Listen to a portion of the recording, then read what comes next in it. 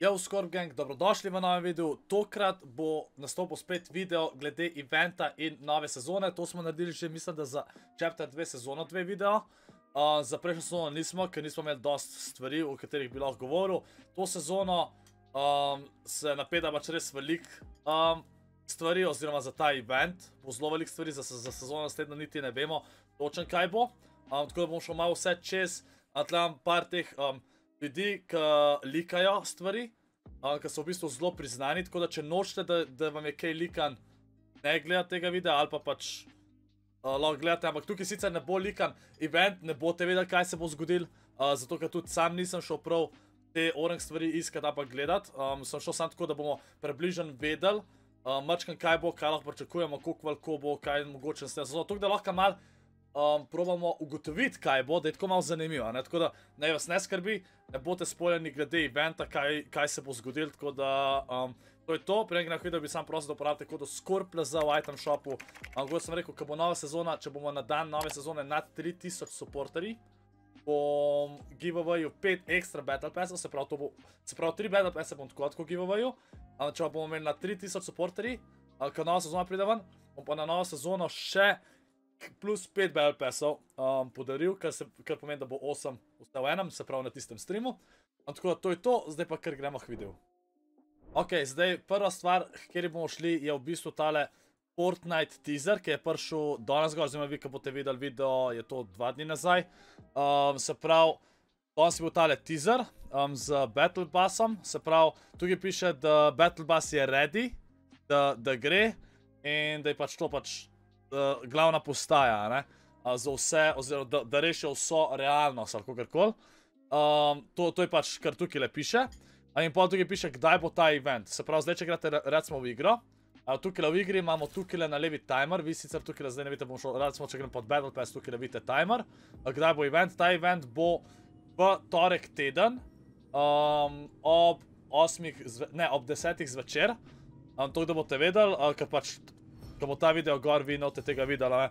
Pa tukaj lahko vidimo recimo tudi od Galactusa glavo, ki lahko sam pričakujemo, da bo po moje vsak dan um, bližji, oziroma več ga bo kazalo vsak dan, tukaj na Battle Pass mapi. To je moje predvidevanje, ker vem, ker sem videl tudi eno sliko, kjer je tukaj pač cel pokazan, tako da predvidevam, da bo pač vsak dan bližji telemizi, oziroma temu svetu, ki je pač imenovan Fortnite. Ne? Tako da to je glede, kar je v igri. Um, in pa pač Prvo veste, da so ta Battle Pass je bil zdaj upgraden, tudi danes. Um, če gremo zdaj tukaj um, na slike, bom najprej v bistvu pokazal Battle Pass. Um, takle Battle Pass zdaj izgleda, um, upgraden. In takle bo pač to, ta, ta upgrade je kukar za eventa, ne. Um, kot sem rekel, event tork teden ob um, desetih zvečer. Um, potem imamo pa tukaj še v bistvu še eno stvar, ki je tale en, kogar Fortnite likar povedal, v bistvu Mr. Stark um, je pač tukaj le, um, nam je omogočil, da imamo um, fully ekipane te flight sisteme, ne, kako zdaj rečem, pač zalateto gledam, da imamo neki zalateta, ne, um, ki jih bomo uporabljali, ki jih bomo uporabljali proti boju proti Galactusu, ne, se pravi, v bistvu ta cela sezona je bila kot Nexus Warrior pomenovana, ne, Um, in to je v bistvu vojna, ta Nexus vojna, se pravi, te heroji, ki smo jih dobili tudi v Battle Passu, se bojo v bistvu borili proti Galactusu, ki bo zdaj prihajal. Tako da event lahko pričakujemo, da bo nek um, fight med njimi, nek dvoboj se bo zgodil, to, to jaz lahko pričakujem. Mislim, zdi se mi, da bo nekaj tazga, da se bomo tepa z Galactusom, mogoče tudi mi sami, uh, to ne vem.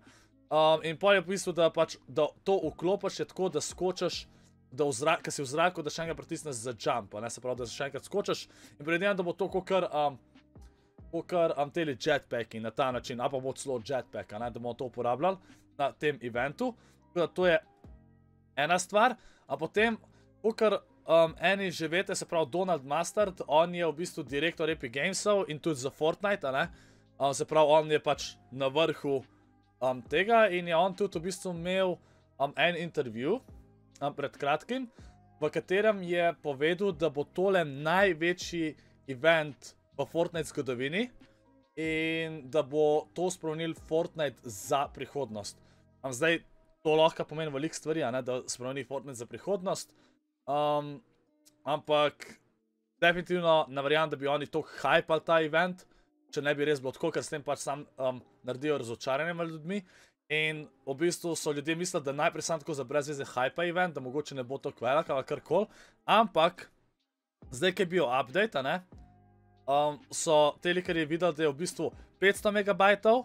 In pa, se pravi, dva, dva dela sta noter bila v tem updateu. En je bil 500 MB velik, en 790 MB. Se pravi, 1,3 GB je bilo vse samo za event noter v tem updateu. Um, in to je vse kompres. Kompres pomeni, da je manjši file. Se pravi, če gremo zdaj tukaj le um, naprej, če dam tukaj le naslednjo sliko, če vam pokažem, evo takole. Se pravi, tukaj le uh, piše, pač to je, to je spet en source, nekaj sem videl, Se pravi, the end, je, the end event, se pravi, ta event, kjer je bila črna luknja, se pravi, sezoni 10 je bil velik 130 MB. Ja, 130. Um, se pravi, to je vse, se pravi, ono je kompresan file, je manjši, kot teli nekompresni. Se pravi, end event je bil 130 MB, pol ta device event, to je bil ta event, ki je bil prejšnjo sezono um, je bil 200 MB velik, potem od Travis Scotta koncert, ker je bila cela mapa spremenjena in vse, kar si letel vmes, je bil 400 MB. In pa The Final Showdown je bil 621 MB. Final Showdown je, mislim, da tam, ker sta se una pošast pa robot um, fajtala. Um, ta je bil očitno največji. In pa zdaj tale event, ki pride, je velik skoraj 4 GB. In pač veste, kakšen event je bil Travis Scott, tega, tega si lahko najbolj zapomnimo. In tole je v bistvu desetkrat večje. To lahko res pričakujemo, po mojem, res en insane event, kjer se bo full velik stvari spremenil. Zdaj velik ljudi prav, da bo tudi nova mapa vzum pa to. Jaz ne verjamem, da bo nova mapa.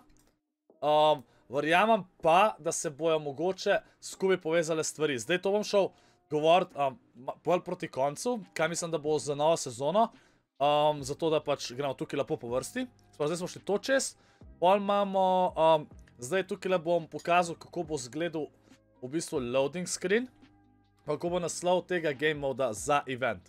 Se pravi, evo, se pravi, loading screen bo zgledal takole, kot vidite, Galactus tukaj, in pa um, naslov je The, The Devourer, ali kako se to izgovori, of Worlds, defend the island to save all reality. Se pravi, moramo braniti otok, da rešimo vso realnost. Pač tako se v bistvu dosedno prevede.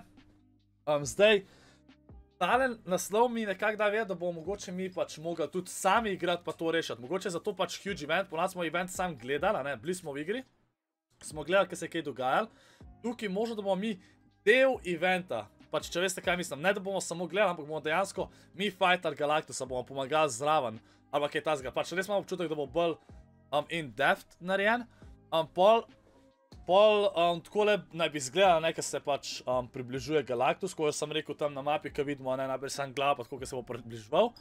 Um, to je to, pol imamo tukaj še neki... Aha, ali se pravi, to so spet zelo mehni liki, v bistvu ne spojlja nobenega eventa, kot sem rekel. Um, tukaj le pove um, tale um, I Love Tomatoes, pove, da se bo ta Jonesy vrnil. Um, dokaz za to je, ker so updatali njegovega karakterja in pa imeli so um, pet voice actorje. Se pravi, če grem jaz tukaj na internet hiter, um, imamo tukaj le, um, se pravi, deli karakteri bo imel glas. Ko, okay, zdaj, da preden gremo tukaj naprej, bi vam pokazal, se pravi, tuk, tole je end eventa, ne? In če spomnite, je tukaj Jones Ivan prišel in je prav govor. To je bilo prvič v zgodovini Fortnite-a, kjer so karakteri prav govorili um, v eventih, ne? se pravi, če zdaj poslušamo.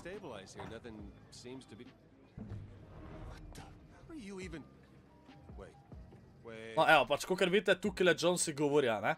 No, in bili so posneti um, glasovi, se pravi, da bojo Troy Baker, uh, Jan Sagers, Crispin Freeman, da bojo imeli glasove in pa Adam Hamilton.